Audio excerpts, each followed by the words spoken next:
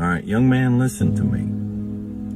There is for you a tremendous amount of dignity and pride in the midst of failure, in the fact that instead of being one of them fat cats up in the stands who are watching and getting entertainment from watching other people struggle and who are throwing tomatoes and eggs down there and who are laughing and pointing, you're in the arena and you might be covered in dirt, you might be covered in mud, you might be covered in blood, and you might be broken to some degree. But you can stand there with dignity and say, yeah, well, at least I tried. And soon as I get these wounds bound up, as soon as I catch my breath and wipe some of this dirt off my face, I'm going back in that arena and I'm going to try again.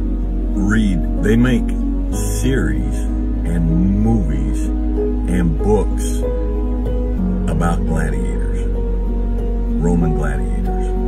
But there is no series, there's no movies, there's no books talking about the heroic citizens who sat in the stands and.